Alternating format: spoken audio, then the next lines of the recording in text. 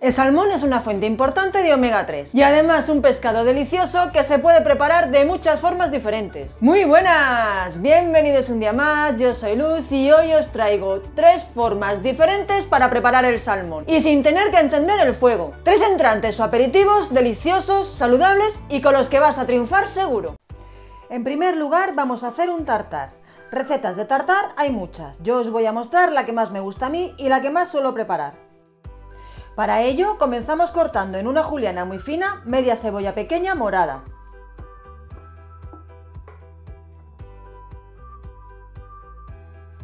Separamos las tiras y las ponemos en un bol con agua bien fría para que pierda un poco su fuerza y se mantenga crujiente.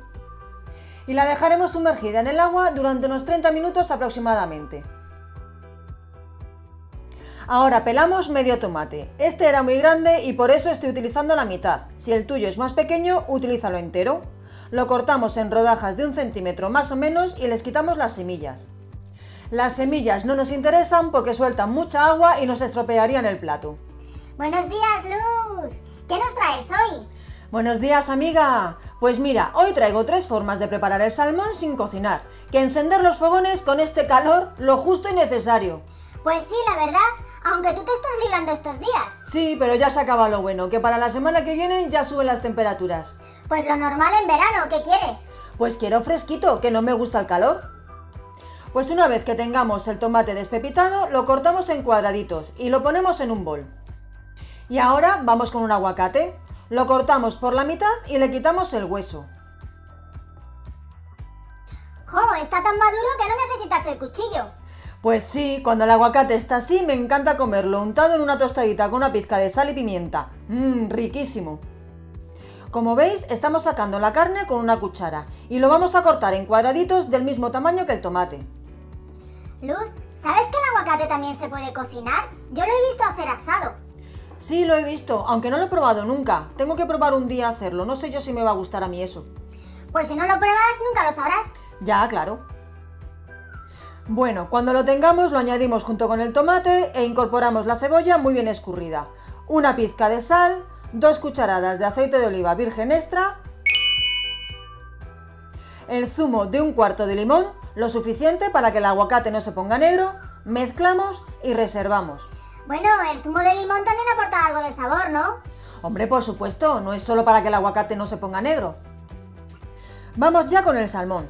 Aquí tengo un trozo de lomo que pesa aproximadamente unos 125 gramos. Como somos dos y solo lo quiero como entrante, es más que suficiente. Y lo voy a cortar en dados de un centímetro aproximadamente, porque quiero que se noten los trocitos al comer. Los puedes trocear más pequeños y se cocerán más con la soja. Más grande no te lo aconsejo, a mí por lo menos me resulta desagradable un trozo de pescado crudo tan grande en la boca.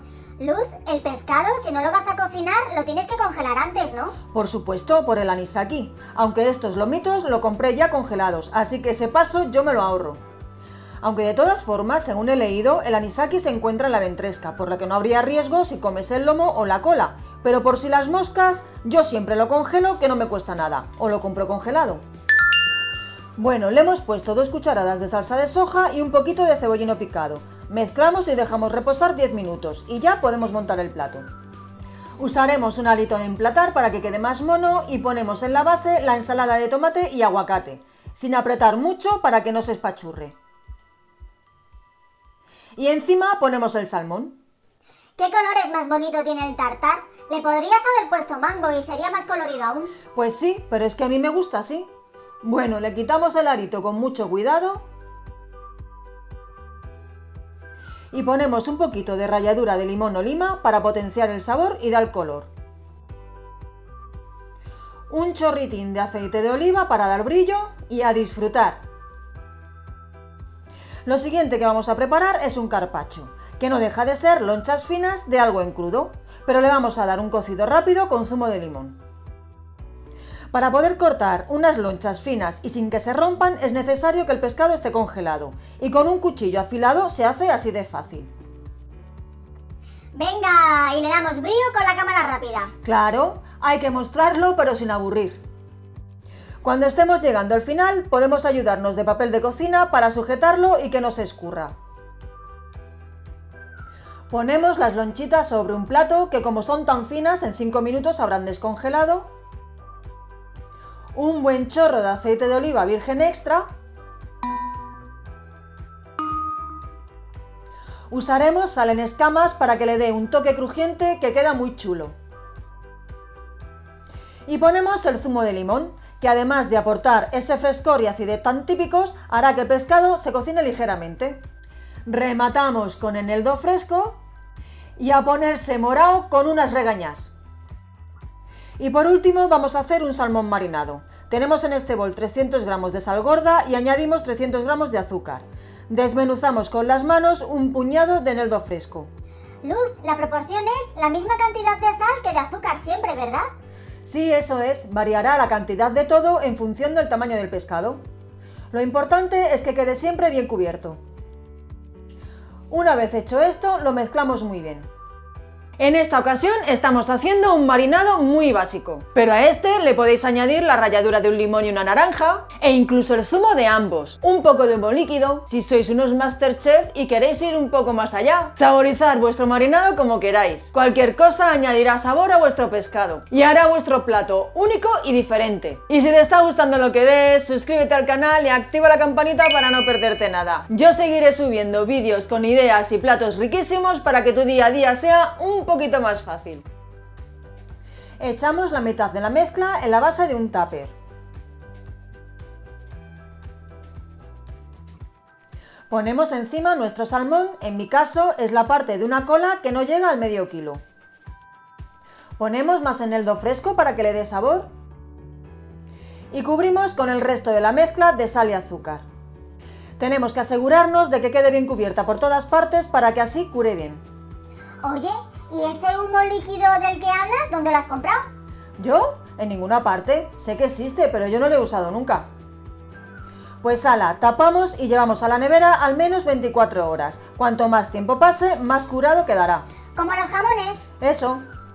Mirad, después de 24 horas la sal se ha humedecido y el salmón ha cambiado de color. Le vamos a quitar toda la sal debajo del grifo con agua fría. ¿Y por qué la sal estaba húmeda? Pues porque ha absorbido el agua del salmón.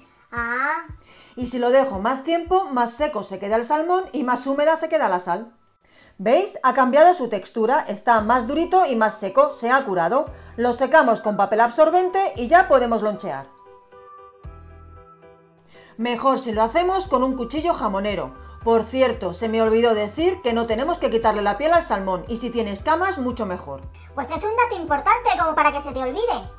Bueno, pues ya lo he dicho. En esta ocasión lo voy a presentar así tal cual, pero en ensaladas, sándwich, montaditos, pinchos, pizzas, utilízalo como quieras. Y lo que nos sobre lo tapamos con su piel, envolvemos muy bien con papel film y guardamos en un tupper en la nevera. Aguanta varios días, pero si lo loncheas y lo cubres con aceite de oliva, te aguantará todavía más. Claro, porque el aceite es un conservante. ¡Qué lista eres, amiga! A nuestro plato le vamos a poner un poquito de cebollino picado, un chorriquitín de aceite de oliva